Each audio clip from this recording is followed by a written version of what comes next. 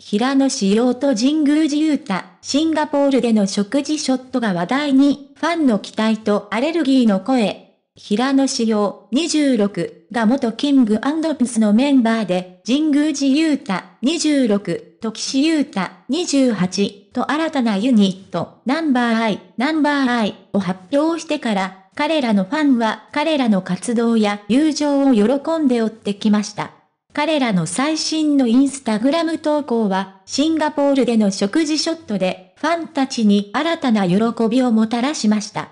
しかし、一部のファンは、平野仕様のアレルギーについて心配の声を上げています。シンガポールでの食事ショットが話題に、平野志陽は自身のインスタグラムで神宮寺勇太とのシンガポール旅行中の食事ショットを共有しました。彼は前回の投稿で I'm hungry do you want to go out to eat? お腹が空いた外食しませんか？と書いており今回の投稿ではシンガポールでの食事を楽しむ様子をファンに披露しました。その中には、シンガポール名物のカニ料理を楽しむ姿も含まれており、特にカニポーズを決める写真が注目を集めました。ファンの反応。平野仕様の投稿に対するファンからの反応は非常に熱狂的で、多くのコメントやいいねが寄せられました。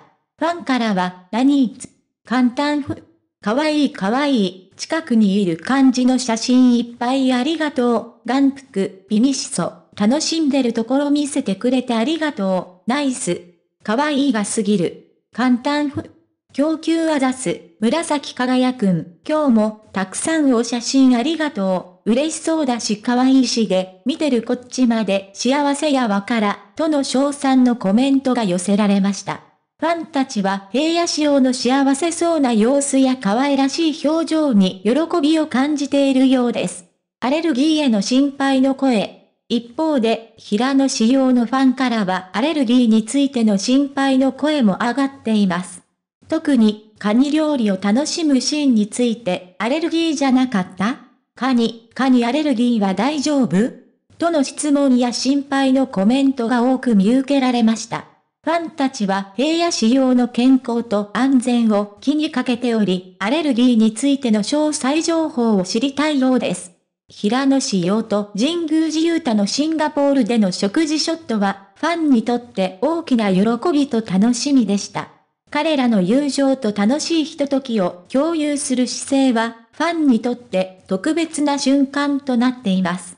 しかし、一部のファンは平野仕様のアレルギーについて心配しており、彼の健康と安全についての情報を望んでいます。ファンとのコミュニケーションを大切にするアイドルとして、平野紫耀はファンの声に応え、安心して活動を楽しんでほしいと考えることでしょう。七